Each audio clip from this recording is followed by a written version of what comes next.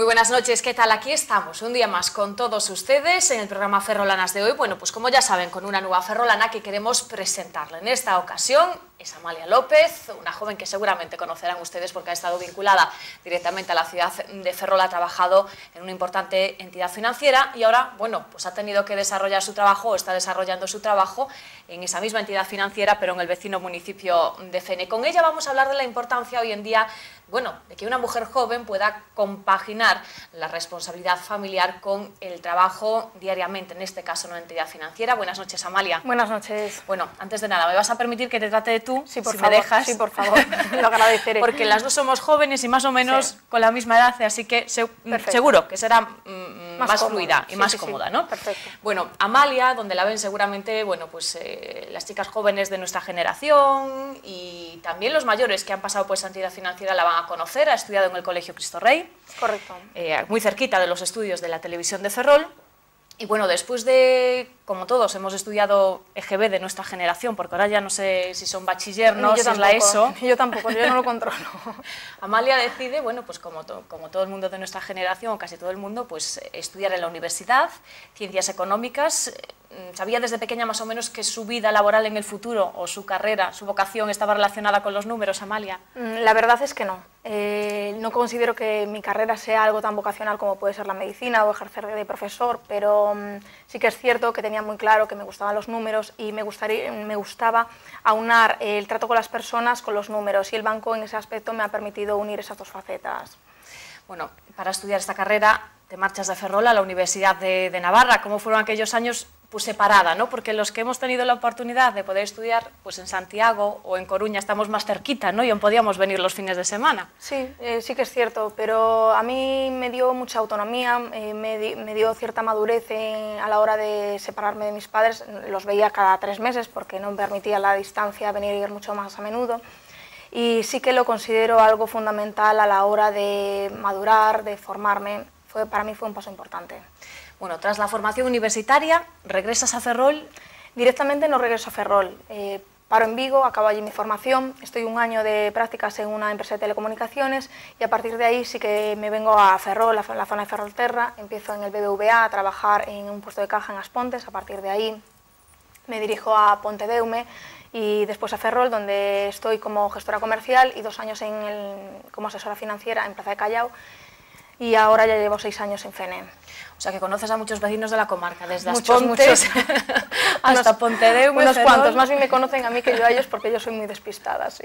Bueno, pero ese trato mm, directo, Amalia, con, con el cliente, no supongo que muchas veces, más en esta situación de crisis, cuando una familia un- va junto de un, de un asesor financiero, pues expone su caso, ¿no? Y, y dice, esta es mi situación laboral, yo tengo esta nómina, ¿cómo puedo hacer?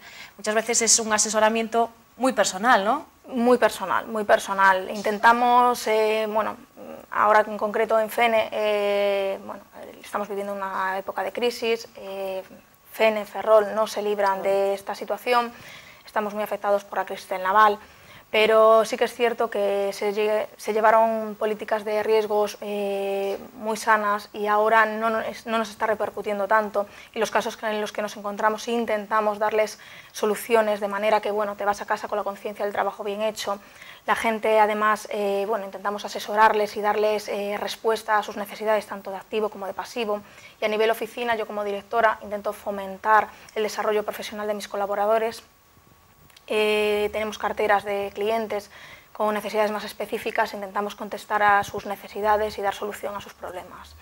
Bueno, de todos estos años a los que, en los que has estado trabajando con distintas responsabilidades, ¿hay alguna en la que te haya llenado más, que hayas dicho, bueno, me encuentro más cómoda en esta situación?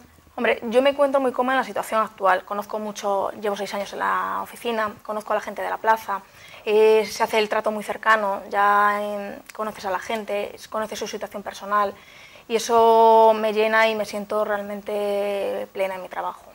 Bueno, cuando Amalia regresa a Ferrol para eh, seguir e iniciar su carrera ya en, en el ámbito laboral, bueno, pues eh, aparece y llega el primero de sus hijos, que tiene seis años. Sí. Bueno, ¿y cómo fue en ese momento? Porque más o menos yo creo que coincide cuando te vas para la oficina de FENE, ¿no? Efectivamente, yo me incorporo a la oficina de FEN en enero de 2007 y en noviembre llega mi primer hijo, Marcos.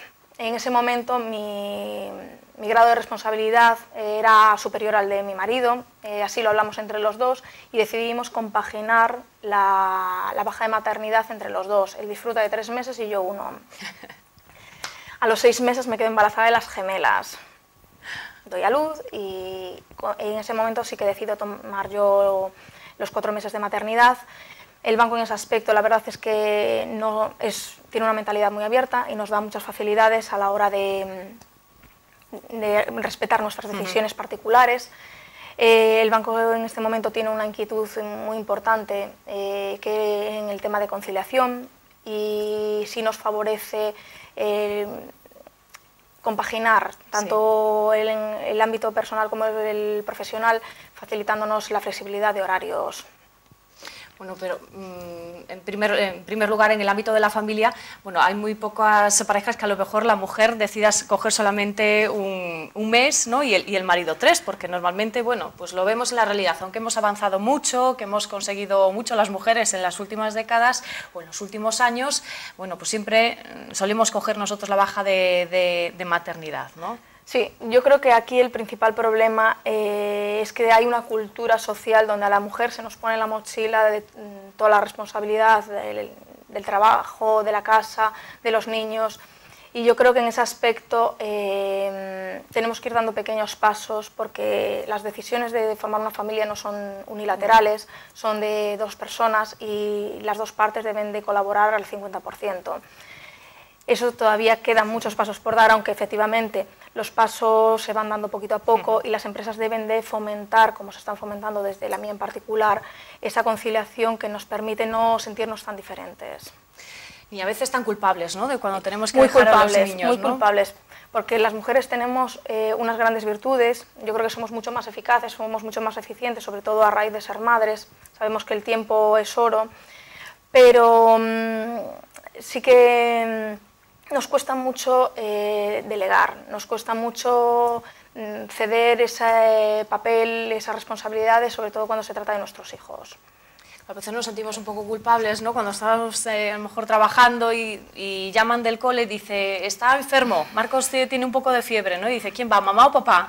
Bueno, pues aquí normalmente, normalmente no va ni mamá ni papá. Tenemos la suerte de tener eh, los, los, padres de mi marido, mis padres, muy cerquita y normalmente o acuden unos o acuden otros y si ya, bueno, eh, no se puede, pues entre él y yo nos, nos compatibilizamos.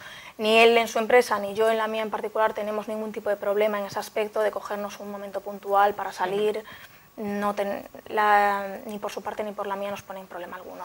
Malia, de repente, bueno, son dos, en el, sois dos en el, matrimonio y de repente, pues en dos años casi, eh, tres, familia numerosa. ¿Cómo se lleva eso? ¿Cómo se organiza eh, una familia? De golpe y a porrazo, pues tres pequeños. Uh, muy complicado, la verdad es que... La Con esas dos gemelas, que supongo que... La vida cambia mucho, la vida cambia muchísimo, no lo vamos a negar. Eh, pero no es muy diferente que el resto de las madres que compatibilizan el trabajo con, con la atención de los hijos el día a día haces malabarismos con el tiempo, nos convertimos en auténticas malabaristas del tiempo, eh, pero yo creo que eso nos, nos, mm, nos volvemos muchísimo más eficientes, muchísimo más eficaces. Si yo echo la vista atrás ahora y pienso qué hacía con todo ese tiempo cuando no tenía mis hijos, digo, Dios mío, me tenía que sobrar un montón, pues no, yo no me sentía que me sobrase tanto.